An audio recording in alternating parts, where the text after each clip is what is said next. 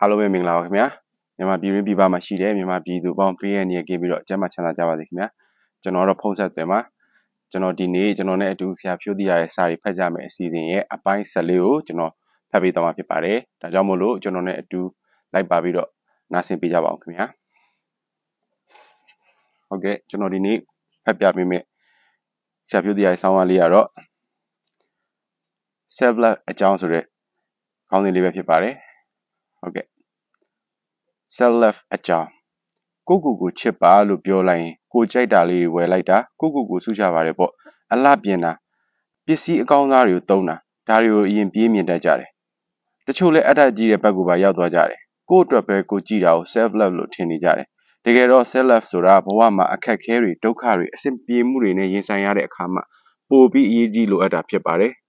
ကိုကိုကိုတကယ်ချစ်တဲ့သူနဲ့မချစ်တဲ့သူအဲ့ဒီမှာကြွားချသွားကြတာပါပဲ လူအချင်းချင်းချစ်ကြသလိုနဲ့လည်းနမူနာယူကြည့်လို့ရပါတယ်ပတ်စံချမ်းသာရင်လက်ဆောင်အကောင်းစားတွေလည်းပေးနိုင်တာပဲ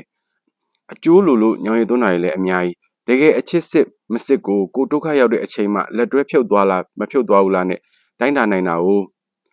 ကိုကိုကိုချစ်တဲ့အချက်မှလည်းအဲ့လိုပါပဲအပေါ်ယံပစ္စည်းဥစ္စာတွေနဲ့မကြည့်ပဲပိုအရေးကြီးတဲ့ရှုထောင့်တွေကနေစဉ်းစားကြည့်ဖို့လိုပါတယ် self love ကိုတေချာနားလည်ခြင်းရင်ကိုတကယ်ချစ်တဲ့လူတစ်ယောက်နဲ့ကိုကိုကိုအစားထိုးပြီးမြင်အောင်ကြည့်လိုက် တသမီလားမိဘလားမောင်နှမလားချစ်သူရည်စားလားတငယ်ချင်းလား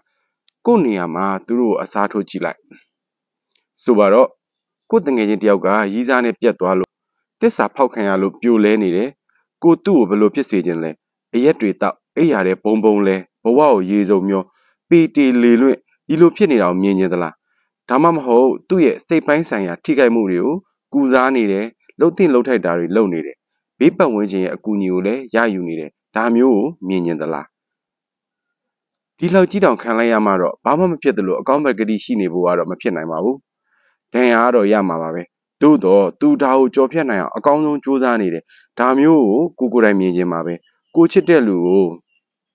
ဒါဆိုကိုယ်တိုင်လည်းအသေးကွဲတဲ့အခါတစ္ဆာဖောက်ခံရတဲ့အခါအဲ့ဒီအတိုင်းရှင်သန်ဒါဒီ self love ပဲကိုကိုကိုတကယ်ချစ်တဲ့သူရဲ့အမှုကျင့်ပဲ အမေဖြစ်သူမှာယောဂဖြစ်တယ်ဆိုပါတော့စိတ်ဓာတ်တွေကြ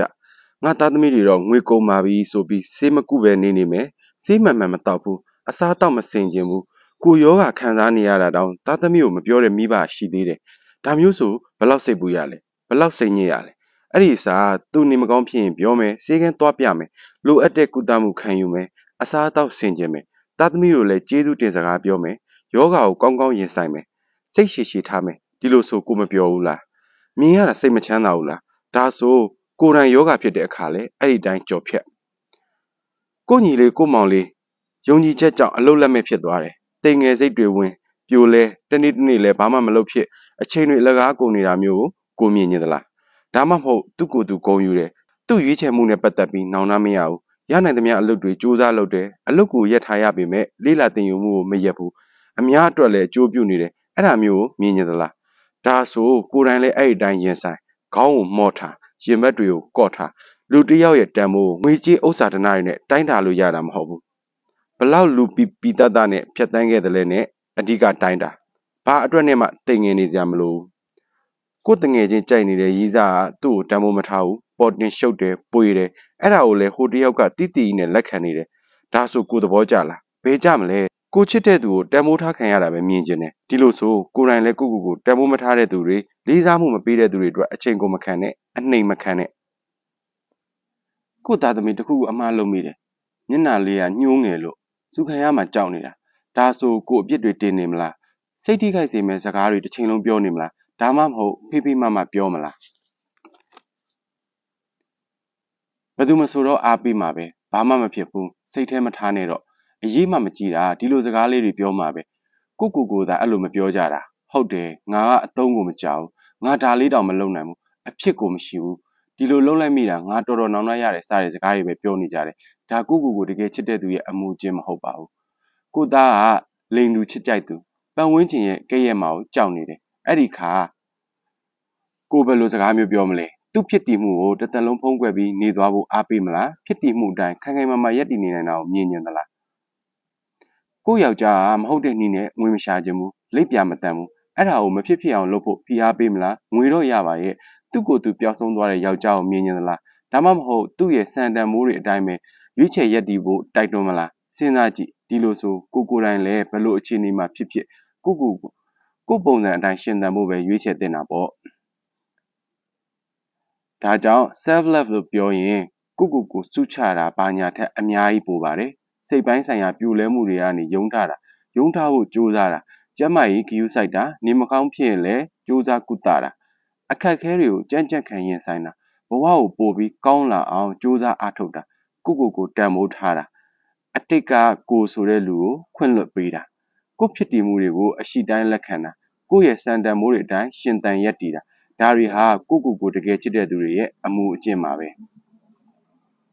အပေါ်ယံချစ်တွေကအပျော်မကျန်တော့တဲ့အခါလက်တွဲဖြုတ်သွားတဲ့သလိုကုကုကိုချစ်တဲ့အချစ်ကမစစ်မှန်ရင်လဲအိမ်အကောင်းစားမှနေကားအကောင်းစားကြီးစီးရဖို့အရေးဒနာရှင်ရှိလက်အုပ်ချီဒူးထောက်ခါစားနေရတဲ့ရှက်စရာပွားမျိုးနဲ့အဆုံးသက်သွားရတတ်ပါတယ်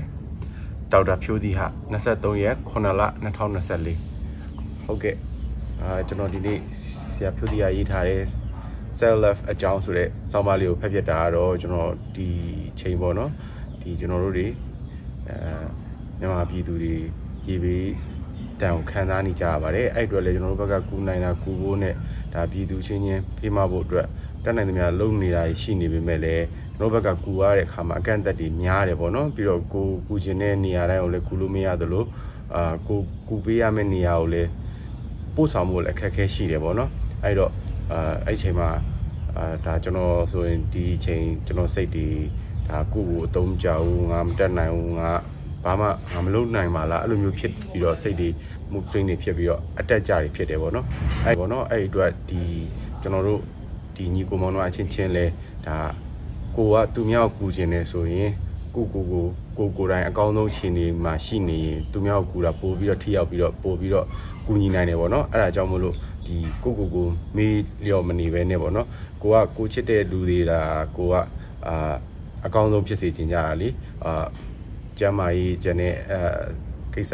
ဆဆရရအဆင်ပြေစေခြင်းနဲ့ဒါပေမဲ့ကုကုကိုကြတော့ကိုမေ့နေတယ်ပေါ့နော်အာဒါကြောင့်မလို့ကျွန်တော်ညီကိုမောင်မတွေထဲမှာလည်းကုကုကိုမေ့နေတဲ့လူတွေရှိနေရင်တတိလေးထားလို့ရအောင်လို့ကျွန်တော်ကဒီ cell left ဆိုတဲ့အာ cell left အကြောင်းဆိုတဲ့အဲဒီခေါင်းစဉ်လေးကိုကျွန်တော်ဖတ်ပေးလိုက်တာပါဟုတ်ကဲ့ကျွန်တော်ဖတ်ပြတဲ့ဒီဆောင်းပါးလေးကိုနားထောင်ပြီးတော့မင်္ဂလာရှိတဲ့နေ့လေးဖြစ်ကြပါစေခင်ဗျာအားလုံးကျေးဇူးတင်ပါတယ်